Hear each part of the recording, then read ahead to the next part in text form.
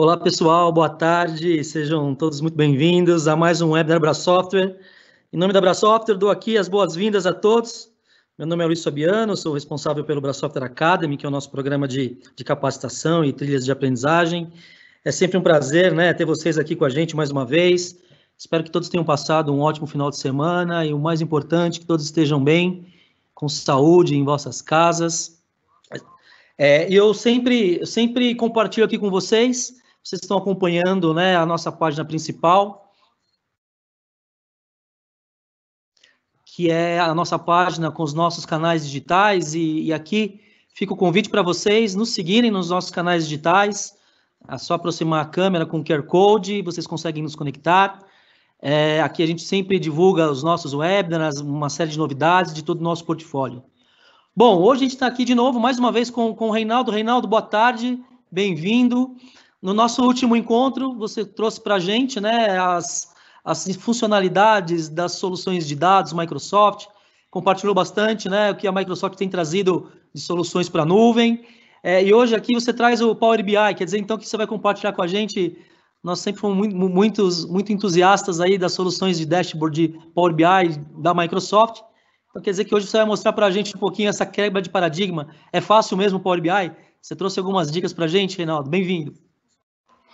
Bom, Fabi, boa tarde, obrigado pela apresentação. É, é sempre uma honra para mim estar tá, tá presente aqui, dividindo um pouco do conhecimento que eu tenho, do que eu tenho visto no mercado, do que eu tenho visto os clientes usando, perguntando.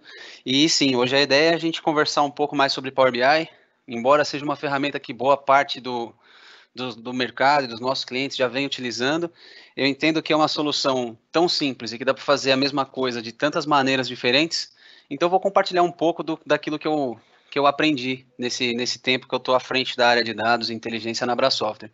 A ideia é justamente essa, até porque é uma solução que, por mais que ela seja simples, ela gera bastante dúvida ainda nos clientes que a gente conversa. Então, desde dúvidas de licenciamento até que fontes de dados ela se, ela se conecta, ah, isso é uma camada de, de transformação de dados, não é? Então, como é que a gente usa essa solução, né? E, e aproveitando até esse, esse momento que a gente vive, muitos de nós já temos filhos em casa, alguns ainda não, mas já tem afilhado, já tem sobrinho, conhece alguma criança de alguma maneira. Então eu queria começar esse, esse evento de hoje, basicamente, como a gente faz com as nossas crianças, né? Então, vamos imaginar que hoje nós estamos sentados à cadeira de um gerente de marketing e a gente precisa fazer uma análise de dados de venda e, e, dados de mercado de alguns fabricantes nossos e algumas linhas de produtos nossos. Então, o nosso objetivo hoje é usar um conjunto de dados que tenha informações de vendas e marketing a ponto de um, de um gerente de marketing poder tomar a sua decisão e a gente vai usar para isso o Power BI. Vale a pena lembrar que o nosso gerente de marketing, é, é, ele, ele nem sempre detém o conhecimento que o diretor financeiro tem. Então, ele não usa muitas macros, ele não usa é, tantas fórmulas no Excel, mas, de certo modo, é, a ideia é que a gente demonstre o quão simples é de, de mexer com essa solução. Então, a, a ideia é que aqui no final a gente consiga criar um dashboard bastante interessante que nos permita uma tomada de decisão mais simples usando o Power BI. Enquanto eu, eu paro a apresentação de slides, porque eu vou compartilhar a minha tela com vocês, para que a gente possa enxergar como isso vai ser feito no Power BI. Então, enquanto eu compartilho a minha tela, eu gostaria de dizer para que vocês fiquem tranquilos que ao final de tudo isso, essa massa de dados pode facilmente ser disponibilizada para vocês também. Está dentro de um, um repositório da Microsoft no GitHub. E e qualquer um consegue ir lá e fazer o download para brincar com essa massa de dados também. Essa ação ela, ela leva o nome de Dashboard in a Day, e a ideia é que em um dia a gente consiga construir esse dashboard. É, Fabi, só me sinaliza, por favor, se você já consegue ver meu desktop, se está tudo tranquilo e eu posso seguir. Consegue sim, consigo sim, Reinaldo. Tranquilo, pode seguir, por gentileza. Perfeito. Ótimo. Bom, pessoal, então como eu disse, nós vamos usar o Power BI é, eu acredito que boa parte de vocês já tenham tido alguma experiência com ele, mas para quem ainda não teve, e para quem já teve, vale relembrar, o Power BI ele é uma solução que ele nasceu para ser 100% online. Então ele, ele nasceu na nuvem e ele permaneceu somente na nuvem por um bom tempo. Depois, algumas etapas on-premises foram sendo criadas para ele. Mas uma que nasceu junto com ele, que sempre precisou ser instalada na máquina do desenvolvedor, vamos chamar assim, é, é o Power BI Desktop. E ele é o responsável por principalmente começar o seu projeto de BI. É com ele que você vai se conectar nas suas fontes de dados e ele você certamente vai precisar ter na sua máquina, mesmo para trabalhar depois com esse conjunto de dados que a gente vai abordar hoje aqui. E, e, ele tem uma interface bastante comum. Essa é a tela de entrada dele. Eu posso desmarcar para isso não aparecer mais para mim, mas eu acho interessante essa tela principalmente porque ele já traz aqui a, o, o, conceito da biblioteca de Power BI, que ela é muito rica. Então a biblioteca de Power BI tem, tem conceitos, tem como fazer, tem como gerenciar, tem uma biblioteca bastante rica que você pode usar para aprimorar o seu conhecimento lá. Então, é, é óbvio que enquanto parceiros de vocês, eu não posso dizer que você consegue fazer uma implementação sozinho de ponta a ponta de Power BI. É provável que você precise de uma consultoria, de um parceiro como a Abra Software para te apoiar nessa jornada. Então, é, eu quero posicionar a Abra Software aqui também como esse braço, caso você precise de apoio. Mas o principal objetivo é que, pelo menos, algum algum ganho rápido, alguma iniciativa rápida, você consegue fazer sozinho, usando um pouco do que eu vou dizer hoje e um pouco daquilo que você pode encontrar aqui nessa biblioteca de Power BI. Certo? Legal. Então, o primeiro passo para você mexer com Power BI é baixar o Power BI Desktop. O segundo passo é você precisa ter uma credencial lá, porque como eu mencionei no começo, é, ele é uma solução 100% online. E o objetivo é que no final disso a gente pegue esse relatório e publique para o serviço de Power BI. Sem falar de licenciamento ainda, pessoal, mais para frente a gente fala. Então você pode ver que aqui já tem o meu nome, já tem a minha foto, é porque eu já estava logado, ele é single sign-on, então boa parte das vezes ele vai entender a sua credencial assim que você abrir, e se ele não entender, ele vai te, te pedir para que você logue, colocar o seu usuário e a sua senha. E aqui ele já pegou todas as minhas credenciais da Brasoftware. Perfeito. Então aqui estamos na tela inicial do Power BI. Então para quem já trabalhou com um pouquinho de Office, é muito simples de você identificar por onde começar. Vocês vão observar que o meu Power BI Desktop está em inglês. Eu prefiro ele em inglês. É, não significa que só tenha inglês. Não, ele pode seguir inclusive o idioma da sua máquina se você preferir. É, é, que como eu fico muito à frente das novidades, e boa parte das novidades vem de fora, eventualmente os comandos para mim ficam mais simples quando eles estão em inglês. E é uma maneira também de eu praticar um pouco do meu idioma. Então, o meu estará em inglês é, e, e, qualquer dúvida que for surgindo no caminho, eu vou tentando traduzir isso para o português para que você localize no seu Power BI Desktop se ele não tiver em inglês como o meu. Legal. Então, a primeira etapa para a gente começar uma construção com essa nossa ideia do CMO, o que, que a gente precisa encontrar? A gente tem alguns países para gerenciar e nem todos os países, nesse primeiro momento, se mostrarão dispostos a compartilhar com a gente a massa de dados de venda. Então a gente precisa se conectar a uma massa de dados. E a massa de dados que a gente tem hoje é uma massa de dados só dos Estados Unidos. E esse botão que eu cliquei aqui é o Get Data, obter dados. Ele serve justamente para que você encontre aqui a sua fonte de dados para começar a construção do seu relatório. Um, algo que vale bastante a pena de, de deixar destacado para vocês é que o Power BI Desktop ele serve sim como uma etapa de carga, transformação e carregamento de, de, de, de, dados de uma maneira geral. E diferente das outras soluções, ele é uma plataforma que ele vai utilizar 100% do poder de processamento da máquina de quem está usando ele, e não de um servidor. Isso, em boa parte dos projetos, simplifica, porque vários projetos de BI precisam que a gente tenha uma infraestrutura com servidores, e às vezes o pessoal de TI está sobrecarregado, ou está sem tempo, ou está sem recurso, e inviabiliza, às vezes, o nosso projeto. Então, tudo isso que vocês podem ver são os conectores que existem já nativos no Power BI. E a massa de dados que nós vamos trabalhar hoje, ela veio de texto e CSV. CSV, para quem não conhece, é um, um, um, tipo de dados que ele é semi-estruturado. Então, ele é um tipo de dado que é, o computador ele entende, mas que por nosso ele fica meio bagunçado, porque ele está separado por vírgula, está tudo numa linha só, ele é confuso. Então, ele não é 100% estruturado. E aqui nós temos a tabela de vendas dos Estados Unidos. Como a gente pode ver, estou aqui nos dados, na, nas vendas dos Estados Unidos. Então, eu vou selecionar aqui esse arquivo CSV para que a gente possa se conectar à nossa primeira fonte de dados. E, e, e aqui, pessoal, não vou usar um, um banco de dados, até para a gente conseguir ganhar tempo e mostrar mais as funções do que se prender à fonte. Mas todas aquelas fontes ali estão disponíveis. E aqui já mostra que o, o Power BI foi capaz de entender o, o dado que a gente está trazendo para dentro dele. Né?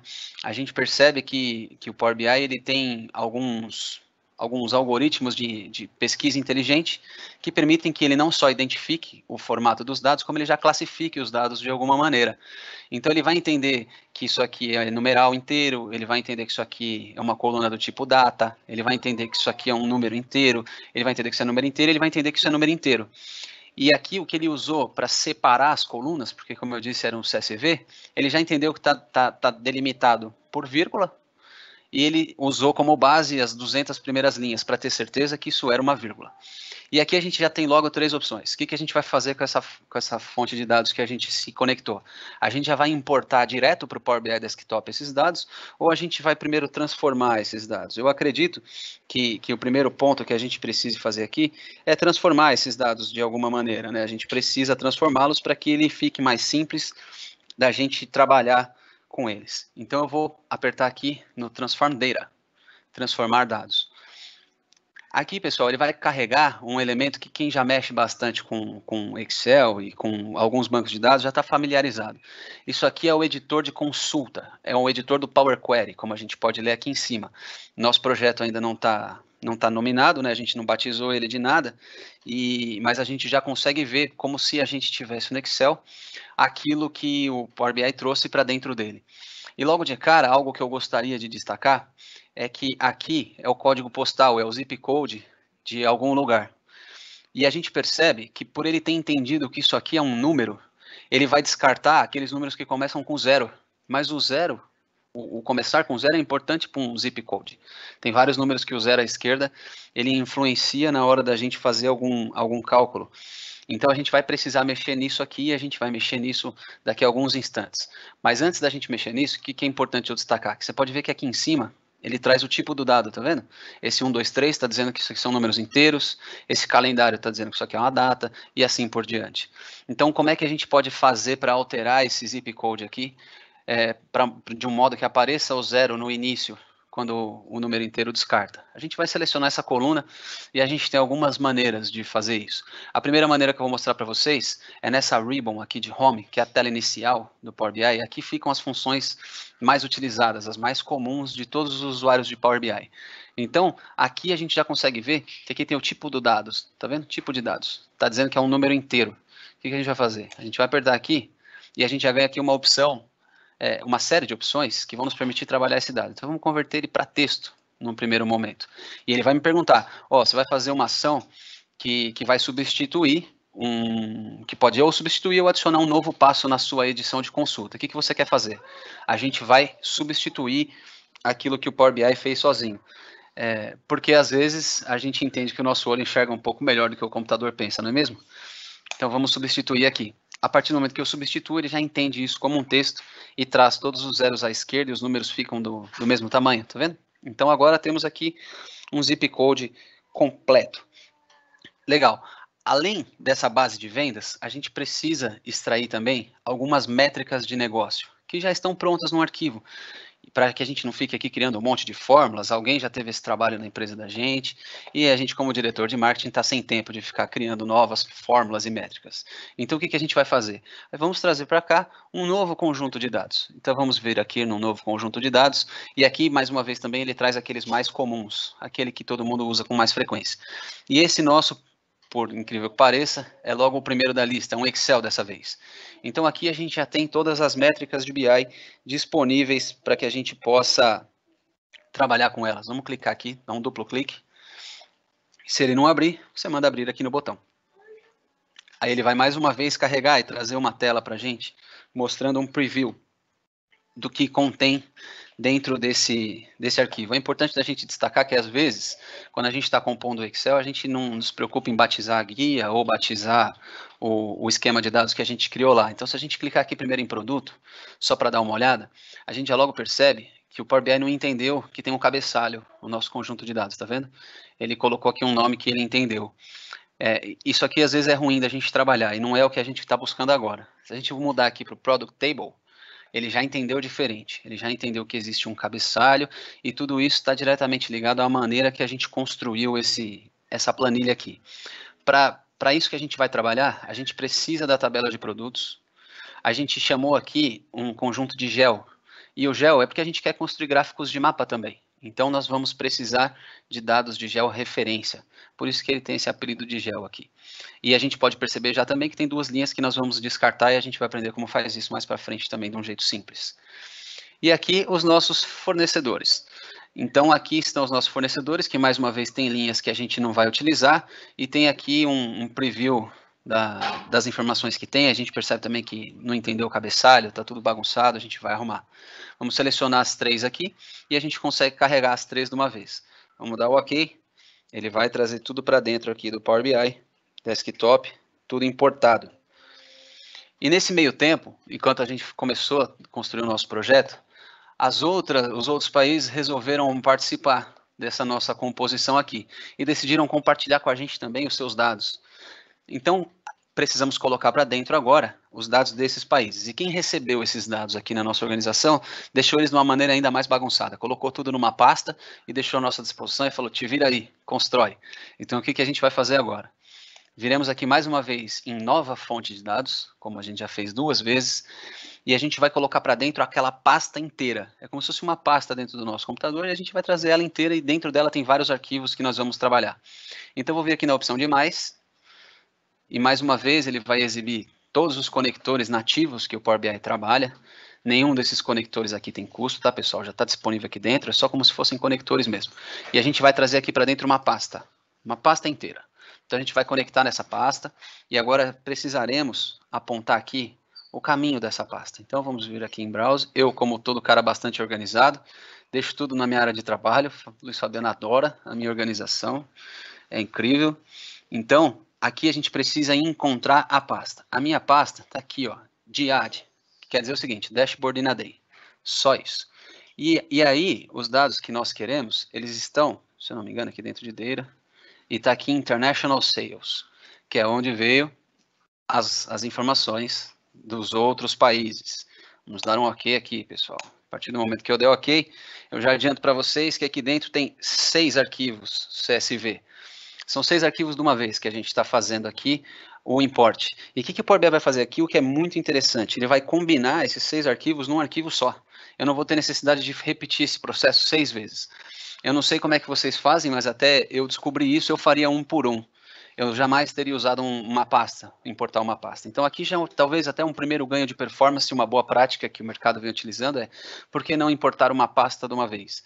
Então aqui ele já traz o tipo de conteúdo, o nome do arquivo, a extensão dele, qual foi a data, enfim, o local e tudo mais.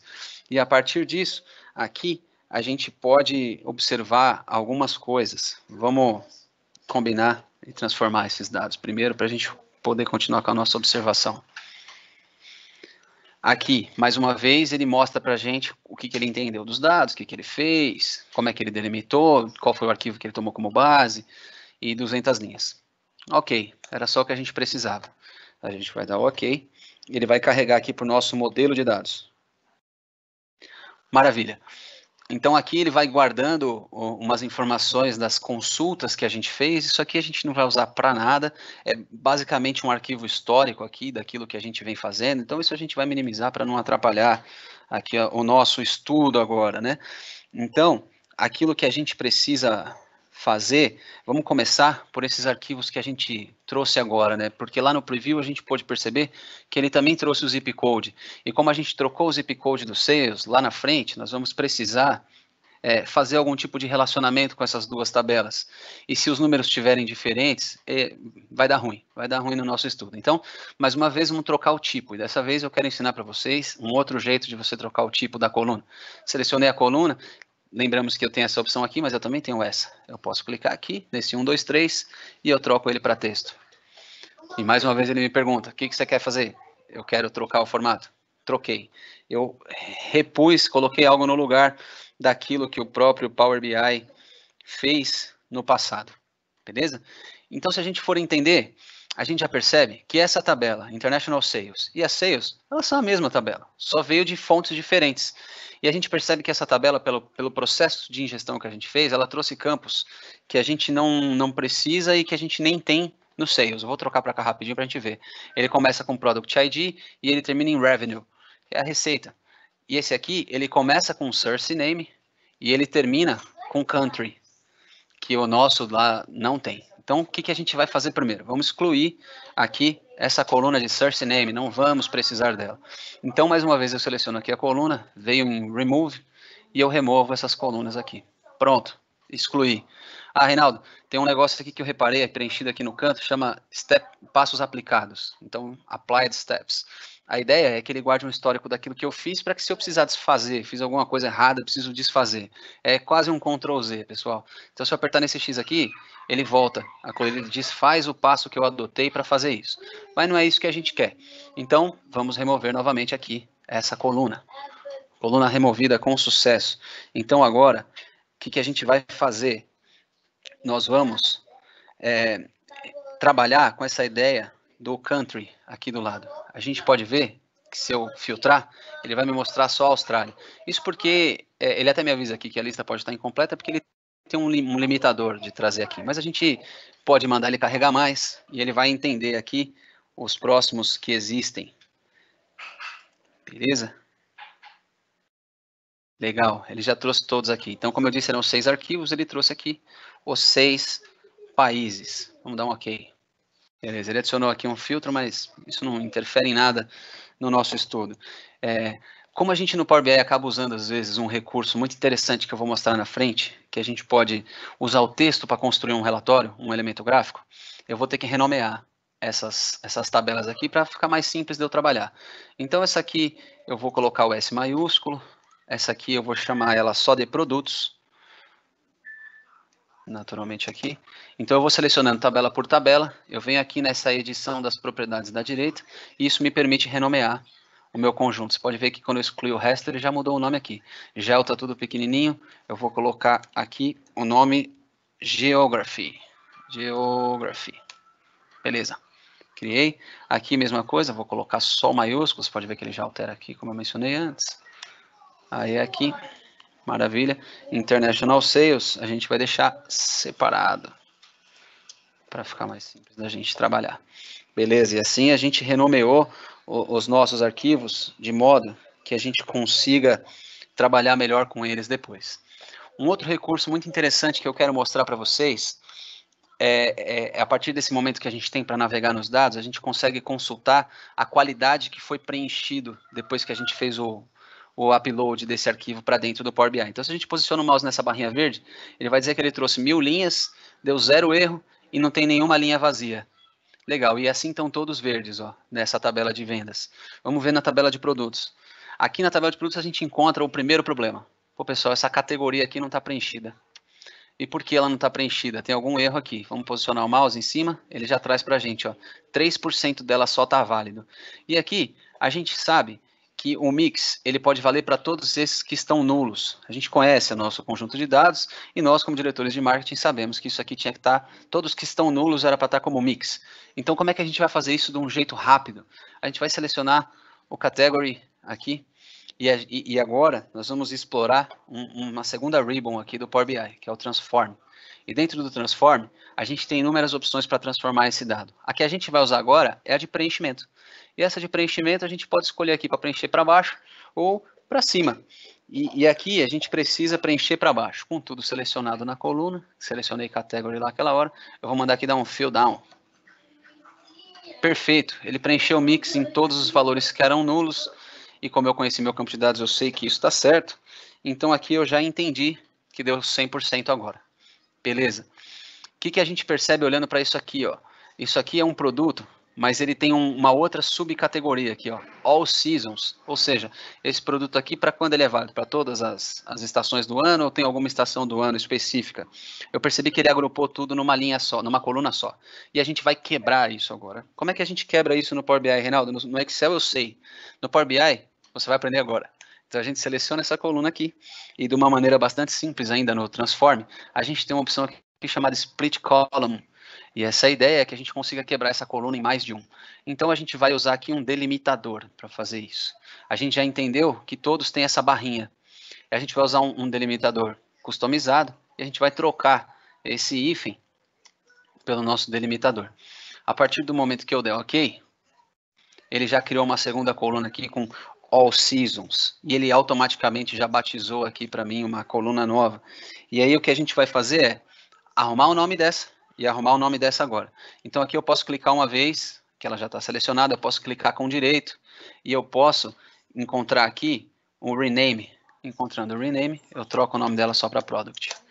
Um outro jeito de eu rebatizar, eu posso dar um duplo clique aqui. Quando eu dou um duplo clique, ele também me habilita aqui a escrever o nome que eu quero dar para essa coluna e o nome que eu vou dar para essa coluna é segment. Então vamos escrever aqui segment para ela. Beleza? Então vamos escrever aqui segment escrito. Perfeito. Aqui ainda tem duas alterações que eu quero fazer. Eu percebi que no price ele trouxe aqui o, o símbolo que eu usaria para moeda e trouxe o preço do lado. E eu quero separar isso também. Como é que eu posso fazer para separar se eu não tenho nenhuma coluna mais aqui? Eu não tenho nem como navegar para a direita. Eu vou adicionar uma coluna nova para vocês aqui de, de uma maneira e vocês vão ver como isso é simples de fazer, pessoal. Eu vou selecionar aqui e eu vou mandar adicionar uma coluna. E eu vou adicionar uma nova coluna baseado num exemplo que eu já tenho preenchido. Então eu vou usar esse primeiro aqui, ó. Eu vou usar um exemplo que eu tenho dentro de qualquer uma dessas colunas do meu conjunto de dados. Então eu vou marcar ele aqui. E ele vai habilitar para mim aqui a nova coluna que eu quero colocar. Eu vou rolar para o lado só para vocês terem uma ideia melhor do que eu estou fazendo. E aqui eu vou dizer qual é o exemplo que eu vou seguir, como é que eu quero que ele preencha. Basicamente aquele, aquele, aquele quick, quick format do Excel, alguma coisa assim.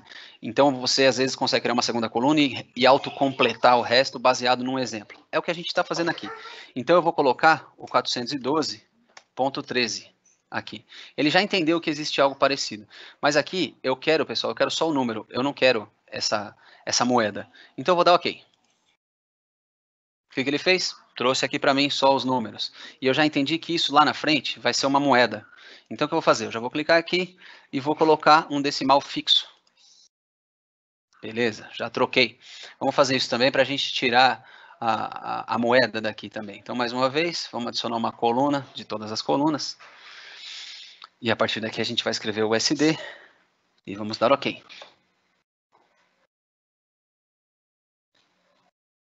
Maravilha.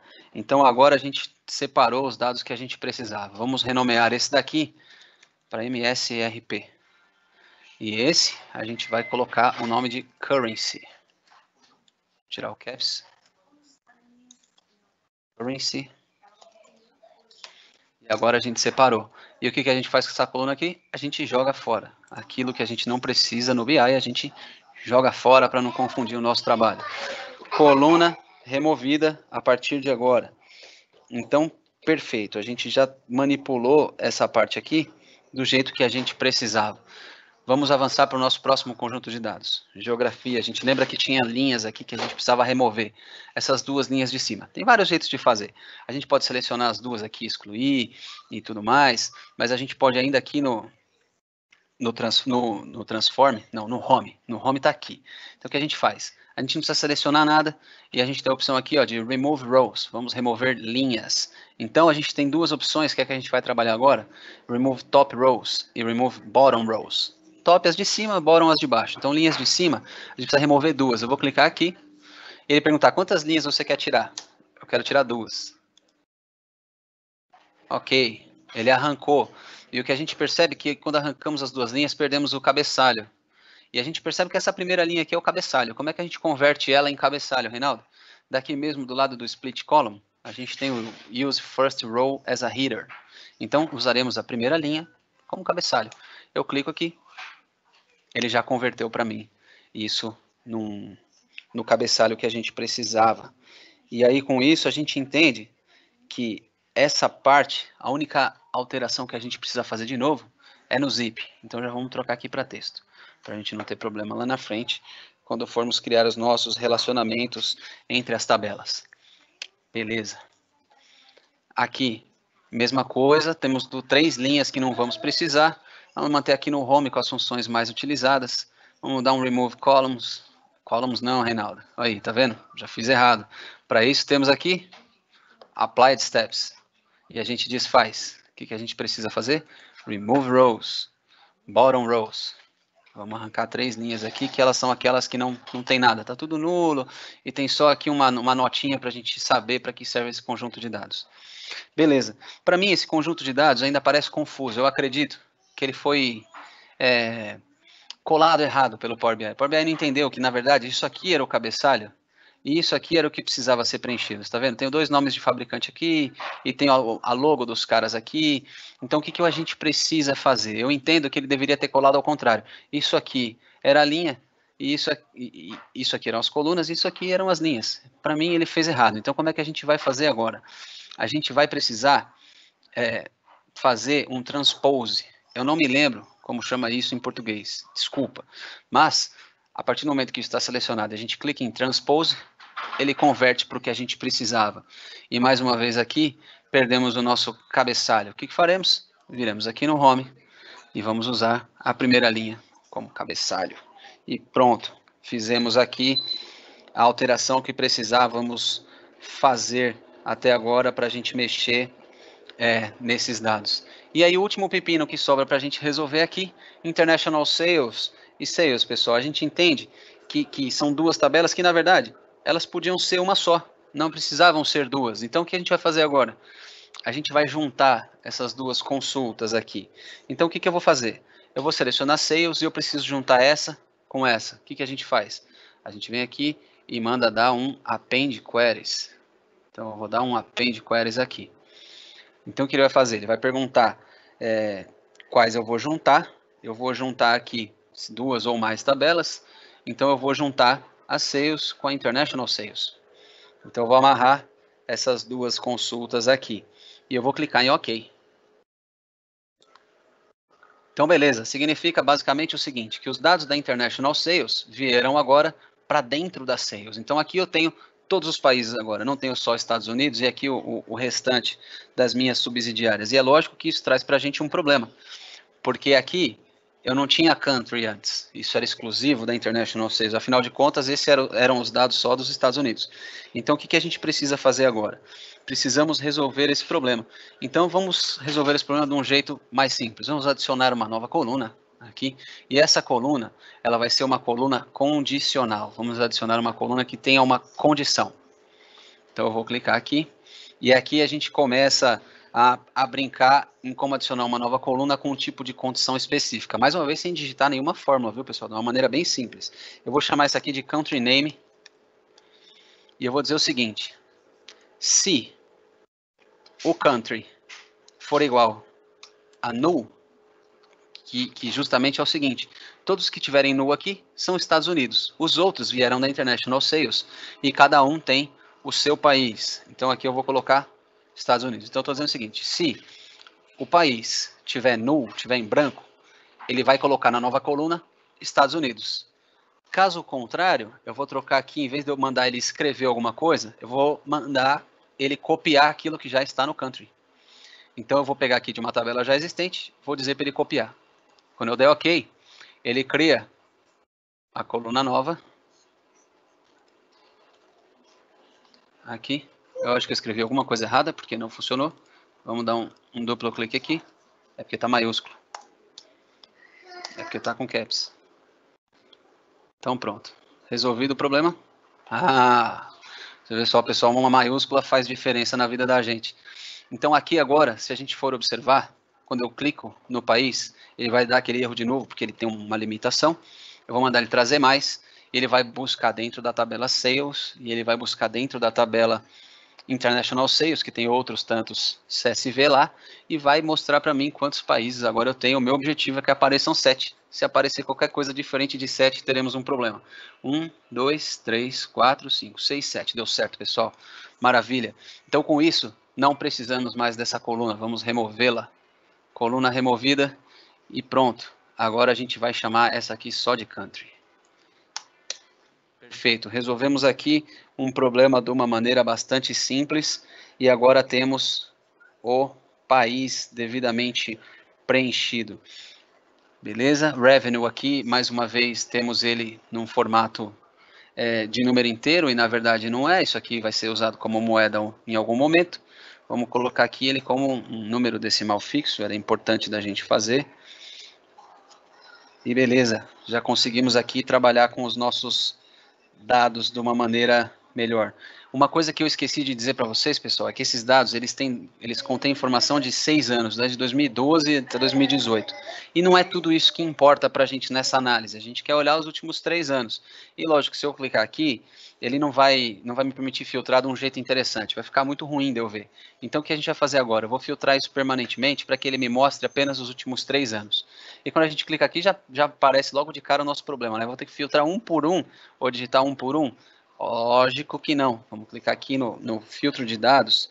E dentro de filtro de dados, a gente vai colocar nos últimos, in the previews, nos últimos. Então, está nos últimos três anos. E eu vou dar OK.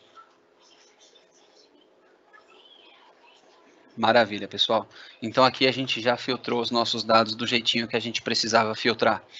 O único problema que resta para a gente é cada vez que formos carregar esse modelo para construir os elementos gráficos, essa tabela vai aparecer.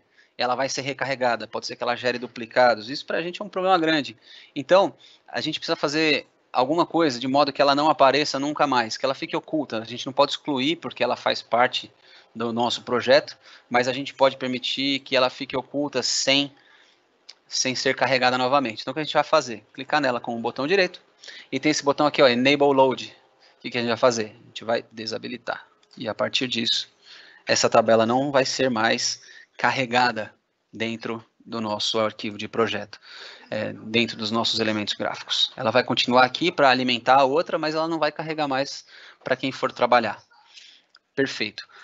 Uma coisa bastante interessante que o Power BI tem é que ele exibe é, como as consultas se relacionam entre si, como é que o nosso projeto conversa entre si. Ele mostra isso de uma maneira gráfica. Então, se viermos aqui no View, a gente tem uma opção de dependências de consulta.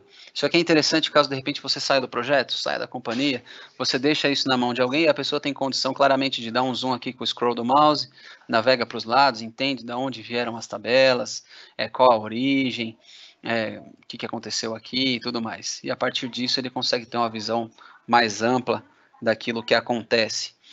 É, a gente pode decretar agora, nesse momento, o fim da nossa etapa de transformação e carregamento de dados. A partir de agora, a gente começa a construir o nosso relatório. Então, aqui no canto esquerdo, em Home, eu tenho a opção Close and Apply. E a partir disso, ele vai de fato carregar todas as transformações que a gente fez e vamos voltar para nossa tela em branco para que a partir daqui a gente consiga é, começar a construir de fato a nossa, a nossa análise o nosso, o nosso relatório para sair do outro lado e depois publicar no, no serviço.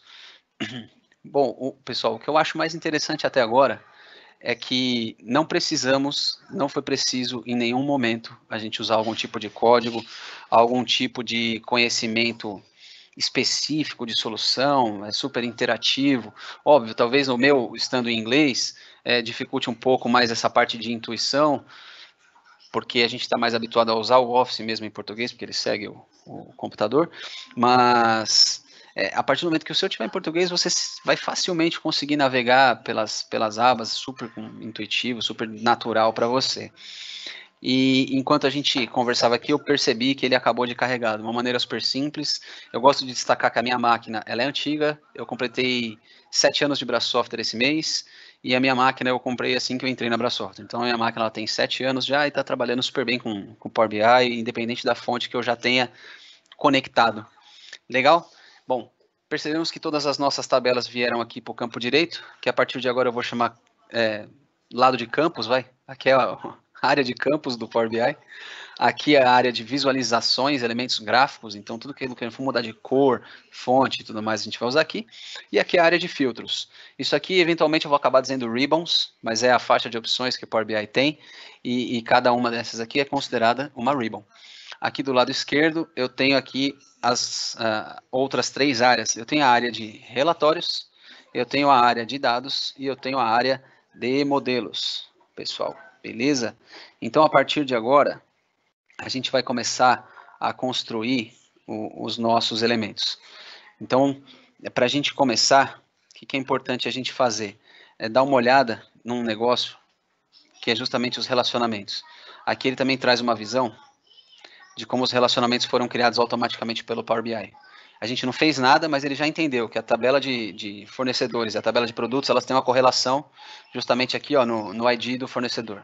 E a Sales também tem uma correlação com o produto no Product ID é aqui que eles têm uma correlação. E a gente percebe que Geography não está relacionada com ninguém ainda, porque o Power BI não foi capaz de entender nenhum tipo de relacionamento. Eu vou aumentar o zoom, senão nem eu enxergo aqui desse lado. Beleza. Mas a gente percebe que zip é comum em vários lugares. E qual seria o problema do relacionamento no Power BI? Você pode observar que aqui tem um número 1 e aqui tem um asterisco. E, e isso quer dizer que é o tipo de relação que assume.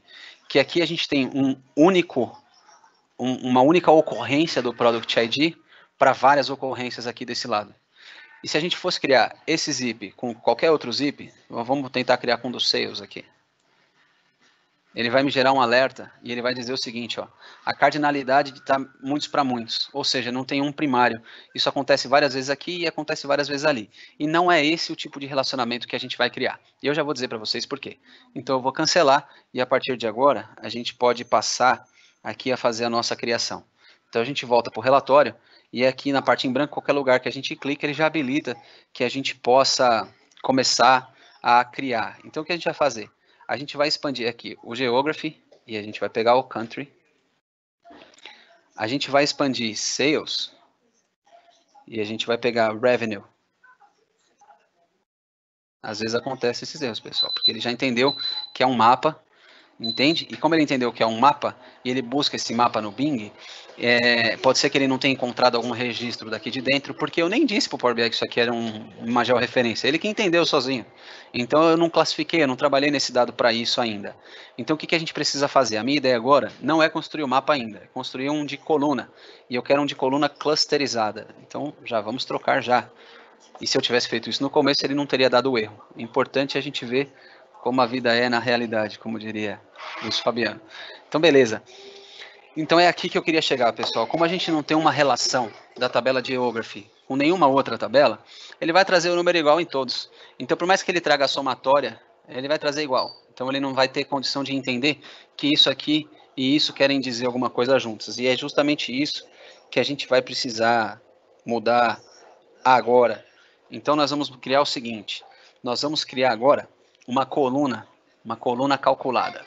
Então, a partir daqui mesmo, nós vamos selecionar a tabela de vendas. Está selecionada já.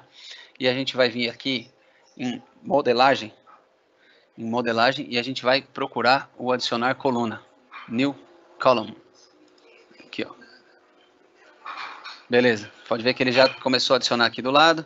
E ele soltou para a gente aqui uma fórmula. Então, essa é a primeira fórmula que a gente vai usar. A gente vai usar uma fórmula para concatenar duas informações. Ah, o zip code que está em sales e separar com vírgula o país aqui da tabela sales também. Então, aqui em sales a gente tem country e a gente tem zip. Então, o que, que a gente vai fazer? A gente vai batizar isso aqui primeiro. Então, a gente não vai chamar ela só de column, a gente vai chamar ela de alguma coisa. E essa coisa que a gente vai chamar ela é zip country. Depois do zip country, aqui a gente começa a fazer a nossa forma. E você vai perceber que à medida que a gente vai digitando, o Power BI ele já vai usando um negócio que chama IntelliSense para entender aquilo que a gente está digitando e caçar uma correlação em algum lugar. Então, eu vou vir aqui em Sales Country, que é justamente o primeiro que a gente vai usar. Cliquei duas vezes, ele já fechou a fórmula para mim. E aqui, como a gente faria no Excel, vou colocar um E comercial para ele entender que eu quero concatenar duas informações. E assim como no Excel também, eu vou abrir aspas e colocar uma vírgula e vou fechar aspas, porque esse é o comando que eu dou quando eu quero concatenar alguma coisa e colocar alguma coisa do tipo texto. Mais uma vez, eu quero concatenar isso com isso aqui e eu vou digitar Sales Country. Não, Sales Zip agora, né, Reinaldo? Roxo. É isso. Para a gente ficar igual ao exemplo e evitar que dê erros, vamos fazer primeiro o zip. Depois a gente faz o country. Pronto, assim a gente evita que dê erro agora. Então eu vou apertar o Enter. E ele vai trabalhar nisso e vai criar para mim a coluna. Beleza, ele criou aqui, ó, Zip Country. E o que, que a gente vai fazer? A gente vai fazer a mesma coisa em Geography. Então a gente vai selecionar Geography agora. Vamos mandar adicionar mais uma coluna. E a gente vai chamar ela do mesmo nome, Zip Country. Zip Country. E vamos mais uma vez colocar os comandos de concatenar, dessa vez usando a tabela Geography. Geography Zip e comercial para concatenar, abre aspas, coloca a vírgula, fecha, e-comercial novamente e busca, busca aqui o, o Geography e busca o Country. E dá o Enter.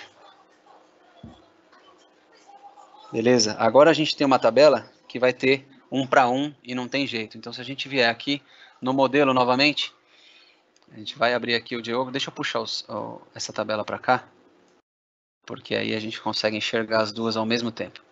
Deixa eu descartar isso aqui. Então, ó, zip country e zip country. O que a gente vai fazer? A gente vai ligar uma na outra. Liguei. Pode ver, a cardinalidade já mudou, pessoal. 1 para N. Se eu abrir aqui, ele já nem traz mais o erro. 1 para N, acabou o erro. A gente vai dar OK. E a gente volta para cá. O nosso gráfico ele já alterou o seu comportamento. E aí, o que a gente pode fazer aqui primeiro é justamente filtrar, é, ordenar ele pelo nosso ascendente ou descendente, como a gente está fazendo um sorte por receita, eu quero que ele faça por receita. Então a receita maior vem primeiro, e isso já estava basicamente feito, né, pessoal? A gente nem precisava ter feito isso agora.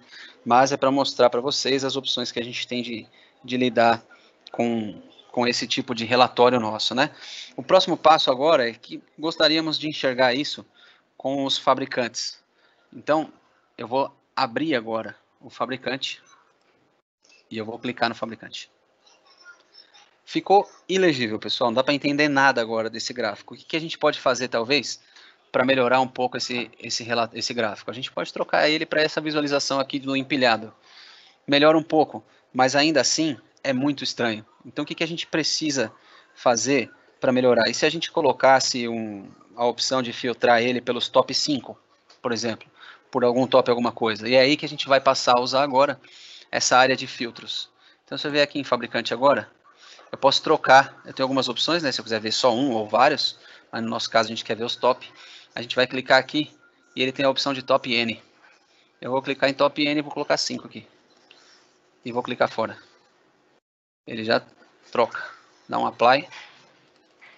E eu não coloquei revenue, então ele não vai fazer mesmo. Vamos colocar revenue. Pronto. Agora o apply apareceu. Maravilha, temos aqui filtrado pelo 5 ainda. Ainda não está melhor de, da, das opções de visualização, mas a gente resolve isso daqui a pouco. Mostrar para vocês o porquê da gente ter renomeado tanta coisa. É, esse recurso é muito interessante, voltaremos aqui no Home. Não sei se algum de vocês já usou, a gente vai clicar no espaço em branco para ele entender que vamos começar uma criação do zero. E eu vou clicar aqui nesse Faça uma pergunta. Faça uma pergunta sobre os seus dados. O mais interessante desse Faça uma pergunta sobre os seus dados é justamente que aqui você pode usar a linguagem natural para construir um, alguma coisa. Então, o que, que a gente vai fazer? A gente vai começar digitando aqui, ó, top 5 manufacturer. Manufacturer. Pode ver que mais uma vez ele usou o IntelliSense e ele já começou a popular ali embaixo. Só que eu quero ver por país, by country,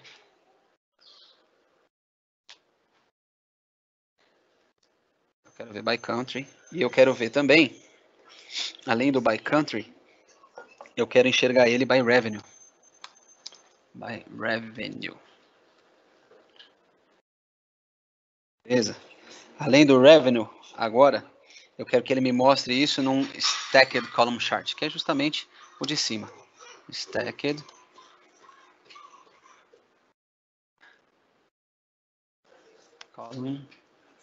Chart. E você vai ver que ele construiu exatamente a mesma visão que a gente criou ali em cima. Isso é para mostrar que no Power BI a gente tem vários jeitos de fazer a mesma coisa, só que eventualmente a gente pode fazer isso de uma maneira mais rápida ou numa maneira mais trabalhosa. E a gente fez exatamente a mesma coisa aqui, pessoal, com uma frase.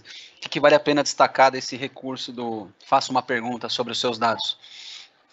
É, ele entende como a sua coluna está escrita. Então, se ao invés de manufacturer ali fosse, sei lá, fornecedor, se em vez de country, país, revenue, receita, eu poderia escrever receita, poderia escrever fornecedor, poderia escrever país. Porém, top 5 eu preciso manter em inglês. Esses by que eu coloquei aqui no meio, eles precisam estar em inglês também. Então, os comandos que você vai dar para a solução, elas precisam estar em inglês. Infelizmente, ainda não foi 100% tropicalizado, mas isso me permite criar. A gente pode escolher um dos dois agora e remover o outro. Dois jeitos de remover, ou eu removo aqui, ou eu simplesmente clico com delete e pronto. Seleciono o delete, está excluído aqui o nosso elemento criado com perguntas e respostas. Eu acredito até, pessoal, que isso aqui nem seja a, a maneira mais inteligente da gente poder trabalhar com filtro de fabricante. Vamos fazer isso de outro jeito. A gente vai agrupar os fabricantes e, e, e, aí vai ficar mais simples da gente conseguir ver aquele que a gente quer, porque tem um grupo de fabricantes aqui. Então a gente vai apagar e pronto, já está apagado. Vamos criar um grupo de fabricantes agora. A partir da área de filtros, a gente vai selecionar o fabricante e dentro de fabricante, a gente vai vir aqui em modelagem e a gente vai dar um new group. Geralmente, quando eu estou presencial, eu falo aquele que enxergar primeiro me avisa, porque enxergar nem sempre é o meu forte. Se new group não aparecer aqui, temos outra opção. Tem sempre as três elipses aqui e a gente pode procurar o new group aqui também.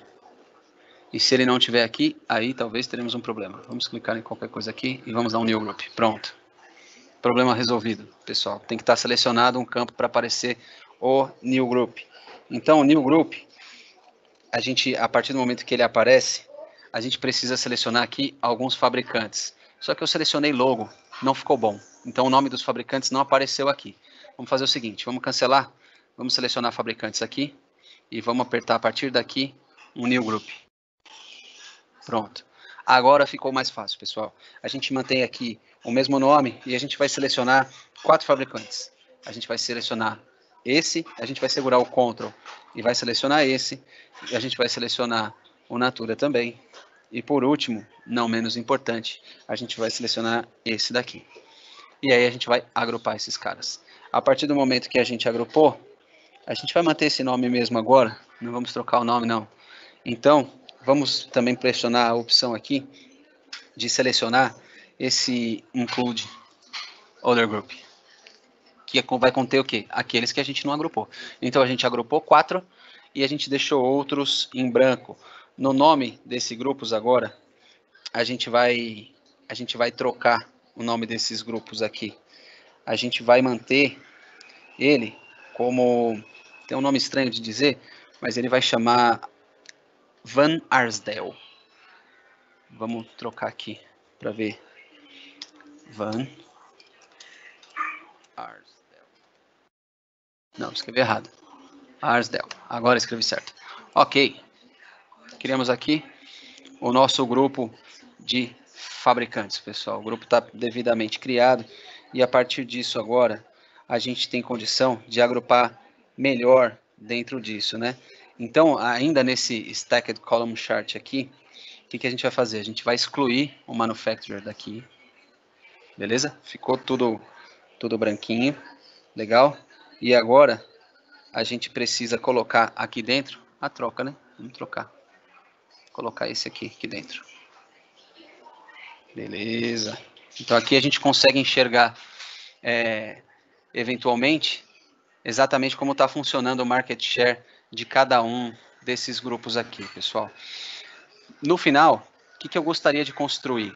Como eu estou vendo que eu mostrei algumas funcionalidades do Power BI Desktop para vocês, e tem muitas outras ainda para a gente mostrar, o que, que eu vou fazer? Eu vou abrir como ficaria o final desse nosso relatório e depois eu compartilho com vocês todos os dados que a gente tem para a gente poder é, trabalhar depois no nosso tempo. Vou, vou deixar abrindo aqui o relatório, porque no final a ideia é que a gente pudesse publicar esse relatório na nossa conta de Power BI. Então eu vou começar a publicação aqui só para mostrar para vocês como isso ficaria depois lá no serviço e quando a gente tiver a, a versão final criada, a gente publica de novo só para a gente ter uma ideia de como isso se comportaria depois lá no serviço de Power BI.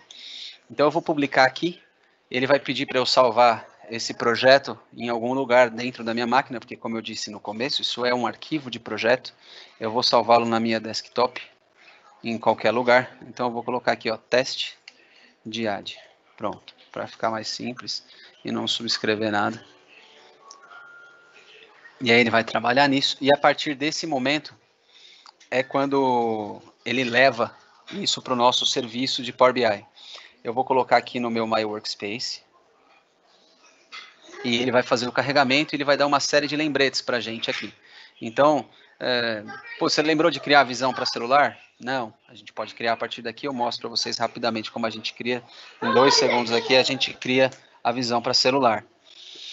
E a partir daqui, quando ele começa a habilitar para o usuário final de Power BI a possibilidade de consumir esse conteúdo de qualquer lugar que ele esteja, estando do celular, estando de um desktop qualquer, estando de um navegador, e a partir disso aqui ele já, já permite. Então eu entendi que ele já publicou para o meu serviço. Se a gente precisasse criar a visão para celular, é basicamente vir aqui em View, ele vai trazer todos os elementos gráficos que foram criados aqui e a gente vai arrastar para cá e dar um resize do jeito que precisarmos para colocar dentro da nossa visão para celular. Isso é importante porque o aplicativo para celular de Power BI ele entende tudo na horizontal se você não cria o, a visão. Então é importantíssimo criar a visão para que você consiga consumir no seu celular do jeito que você quiser, na vertical, na horizontal. Se você não faz isso, ele sempre vai consumir na horizontal dentro do aplicativo. É lógico que no, na visão web ele vai consumir, ele vai responder do jeito que você abrir.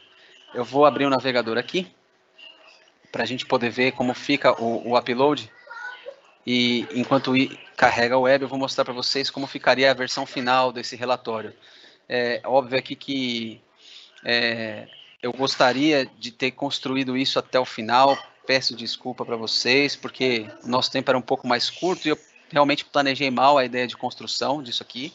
Mas, mais uma vez, é, eu vou compartilhar com vocês todos esses materiais com o passo a passo bonitinho, de modo que seja possível vocês construírem isso desse jeito por sua conta. E a ideia é que fosse possível a gente ter essa visão aqui para o cara de marketing com os filtros de fabricante aqui em cima, permitindo que a gente conseguisse é, tomar a nossa decisão e avaliar principalmente é, por que, que houve ganho de market share de uma marca para outra, no ano contra ano, no mês contra mês, linha contra linha. Tudo isso a gente consegue avaliar a partir do momento que a gente tem uma análise dessa aqui nas nossas mãos. Então essa é a, a ideia que a gente construísse isso aqui no final e publicasse a partir daqui também. Eu vou publicar essa também na minha conta, para a gente poder observar como isso fica no serviço, mas é, isso tudo aqui vai para a mão de vocês no final, tanto a massa de dados, qualquer coisa, a gente vai disponibilizar isso um jeito de, de fazer o download disso depois, tá bom? Mas a ideia é que a gente publique isso e através do serviço consigamos consumir. Estou publicando aqui novamente, enquanto isso eu vou logar aqui na minha conta, para a gente poder dar uma olhada lá de como fica a publicação no final. E o objetivo final justamente é não, não deixar morrer essas, esse tipo de análise no Power BI Desktop. Né? É que a gente tem a condição de, ser, sendo aqui repetitivo, poder consumir isso de qualquer lugar. E mais uma vez, vocês podem ver o poder do single sign-on. A partir do momento que eu digitei aqui o link, ele já me logou, já me autenticou, já trouxe para dentro do meu espaço de trabalho. Vamos só verificar se ele já acabou aqui o upload. Ele está terminando de fazer o upload aqui. E assim que ele acabar, obviamente já estará tudo aqui na minha conta. Se eu vier no, no meu workspace, opa, um clique a mais aqui, ele vai trazer para mim uma nova área de, de visão e gerência. Aqui ele traz tudo aquilo que eu consumo com frequência e aqui as minhas pastas de trabalho, o conjunto de dados que eu acabei de trabalhar, ele trouxe para cá, tá vendo? Ele já, já concluiu, então se eu quiser, a partir do serviço, eu fazer novas criações, criar novos elementos gráficos, eu posso, mas além disso, ele traz aqui os relatórios que eu já criei. E o relatório que eu criei foi esse aqui, agora, a versão final, ele vem exatamente como a gente criou no desktop, ele permite é, que eu faça os filtros e depois disso ele, ele me habilita a construir novos dashboards e novos relatórios e todas as criações que foram feitas, elas estão aqui. É, Aqui eu também tenho a possibilidade de fazer uma nova criação para celular, e é justamente a partir daqui que o administrador começa a controlar, ver métrica de uso, porque às vezes alguém pede um relatório, a gente cria, mas a gente percebe que a pessoa não está consumindo, então aqui a gente tem condição de avaliar como está todo o consumo de Power BI, desde os relatórios que nós criamos, ou se formos administradores, até como a nossa organização é, está construindo é, os relatórios e consumindo de uma maneira geral. Vocês vão achar estranho que até agora eu não falei nada de licenciamento. E tudo que eu fiz agora, embora eu trabalhei mais na manipulação do dado e pouco na criação e não trabalhei no compartilhamento, é porque a partir do momento que eu tenho esse botão e eu clico nele, é quando eu passo a precisar de licenciamento. Então, todo mundo que precisar desse botão, que precisar mandar esse relatório para alguém e qualquer pessoa que precisar receber um relatório desse, ele vai precisar de algum tipo de licenciamento. E o Power BI tem três tipos de licenciamento, né? Ele tem o licenciamento Pro, ele tem o licenciamento Premium, ele tem o licenciamento Embedded, e cada um se adequa a um tipo de necessidade. E, e, cabe muitas vezes no desenho do projeto de BI que a gente contemple essa necessidade de licenciamento para que a gente possa fazer o cálculo aqui. É, Fabi, como eu estou de tempo, tem muita pergunta no chat, não tem? Como é que a gente segue aqui? Bom, Reinaldo, primeiro, parabéns, parabéns pela apresentação, excelente, tem bastante conteúdo, mas a didática e o roteiro que você escolheu foi, foi excelente para a gente poder compartilhar com o pessoal um pouquinho aí da, da arquitetura do Power BI, né, de como conduzir a experiência de criar um seu relatório fantástico. A gente está chegando no final, no final da nossa da nossa live aqui, né, já no, no ponto. É, tinham duas perguntas, tinham algumas perguntas, eu separei duas aqui, eu acho que dá para a gente poder responder, que é importante. Primeiro, eu acho que essa pergunta normalmente acaba ocorrendo né, em diversos clientes. É, qual a diferença do Power BI Desktop por, por Power BI aqui nuvem, ele está falando? Acho que fica ainda um pouco aquela confusão. Né? E a outra, a outra é se eu consigo licenciar é, o Power BI é, dentro da minha empresa, né? Já que é uma solução que foi concebida para trabalhar em nuvem, se eu tenho, se eu tenho como licenciar internamente.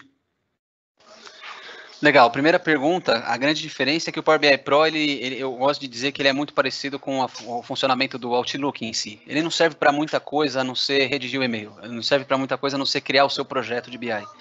E, e, é uma solução gratuita. Qualquer um pode ir lá e baixar o Power BI Desktop, óbvio, diferentemente do Outlook, só serve aqui o parênteses para destacar o funcionamento de cada uma e não o licenciamento. Mas o Power BI Desktop ele serve como aquele, aquela perninha que vai te permitir criar o seu projeto aí de BI na sua máquina. Então eu diria que ele é um pré-requisito para qualquer projeto de Power BI.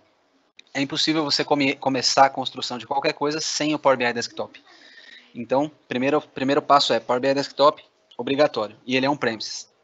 O Power BI Pro, o nuvem, aí sim é justamente essa área em que eu estou aqui, é onde eu vou armazenar todas as tomadas de decisão, todos os relatórios que eu criei ou relatórios que alguém compartilhou comigo, eles vêm todos aqui para o meu serviço, eu não preciso mandar nada por e-mail para ninguém a pessoa só vai acessar aqui a console dela e, e, óbvio, se eu clicar aqui no compartilhado comigo, vocês rapidamente vão poder observar quem são os criadores da Brasoftware e o que esses criadores da Brasoftware já compartilharam comigo. Então essa é a grande diferença. Um é um premises serve para criação, o outro é o nuvem, é onde eu de fato compartilho, é onde eu de fato tenho o meu self-service BI ali e é justamente onde eu trabalho em, em, em par com, com os meus colaboradores. Essa é a grande diferença.